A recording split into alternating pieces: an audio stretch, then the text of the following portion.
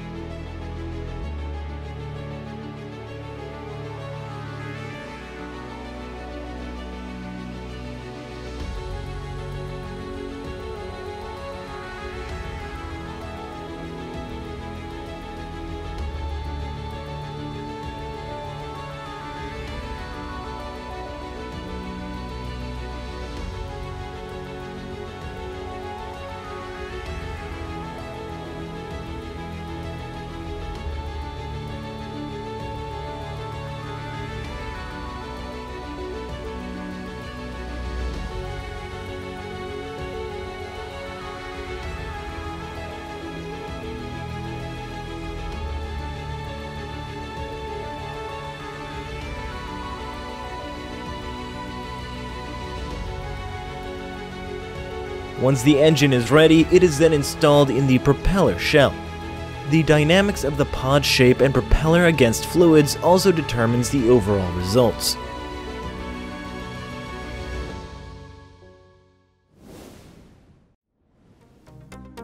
Rolls-Royce has always used cutting-edge and impressive technology, and the Trent XWB is the epitome of their focus. It is the most common and fuel-efficient Airbus engine in the world. The Trent is fundamentally based on a massive turbine comprised of 20,000 components. The majority of its installation is done by hand. A single unit costs 30 million euros and it consists of 22 titanium blades.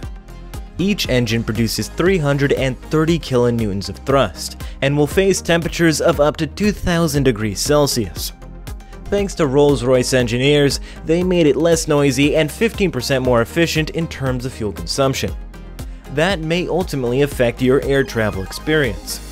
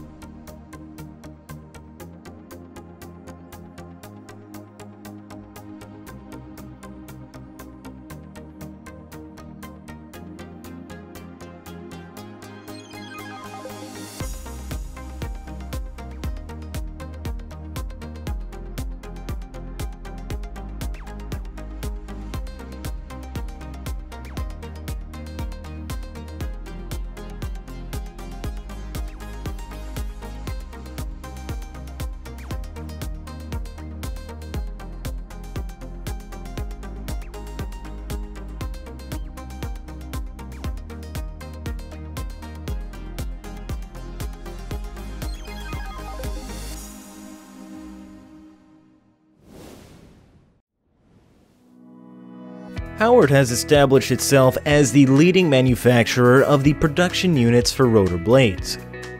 Here we can see an inside view of where Hawart's equipment can be seen in action. Wind blades have to face lifting forces throughout their lifespan. This is why the top and bottom blade shells are bonded together around a set of shear webs. These significantly enhance the strength of the wind blade, but their installation also demands accurate fitting. Finished webs of over 70 meters in length and weighing more than 2 tons are presented vertically. The sheared web positioner picks up the shear web and transports them to the mold, positioning these blades with an incredible precision.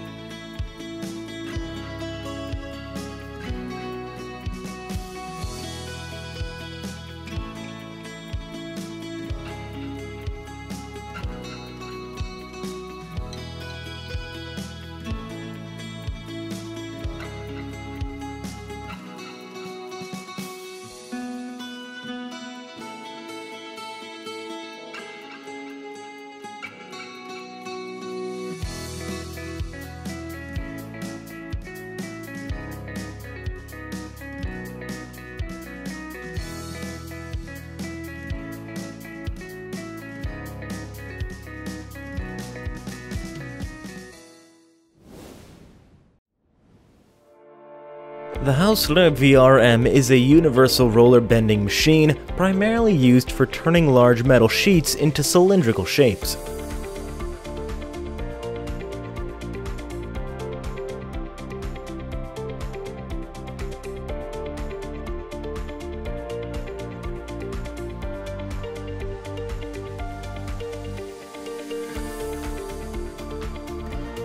Here you can see it apply 600 tons of force to bend a 30 meter long and 3 meter wide metal sheet.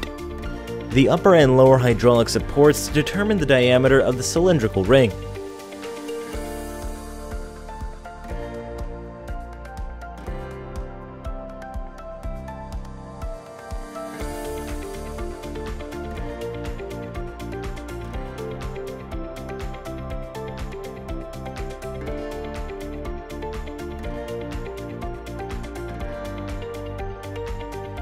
Once the sheets get into the form of a ring, it is welded together by an expert hand.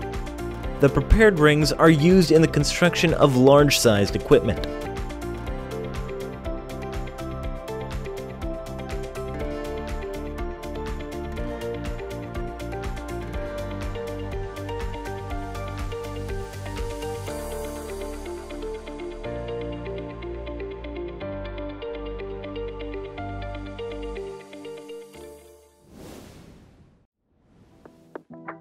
Last but not least, you will see how Mitas manufactures its tires. First off, the rubber compound is heated and calendered by machines.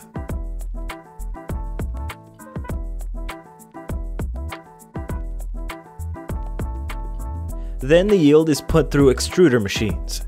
Extrusion yields it into a continuous rubber sheet. These sheets are then cooled and cut to a tire length. Next, a coating machine is used for coating both sides of nylon, steel, and polyester with rubber. These sheets are placed under the tread of the tire.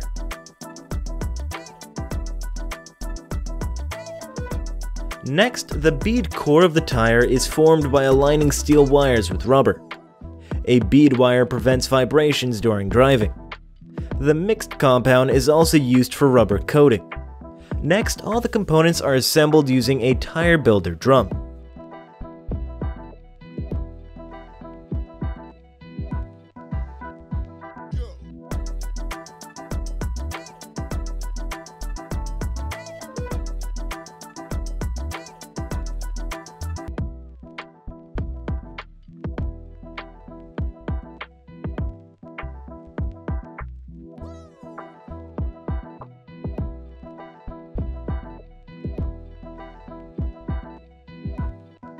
Lastly, tires are placed in a mold and pressed by a machine.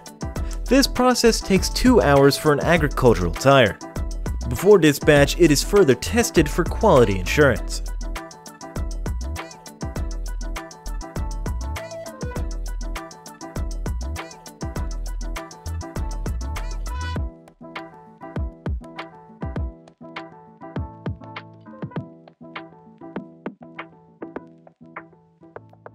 Hey guys, thanks for watching and we really hope that you enjoyed the video. If you have any thoughts about what you just watched or have ideas for future videos, comment them down below. If you enjoyed what you just saw, feel free to like and subscribe, and don't forget to hit the notification bell too. Thanks for watching, and we hope to catch you next time.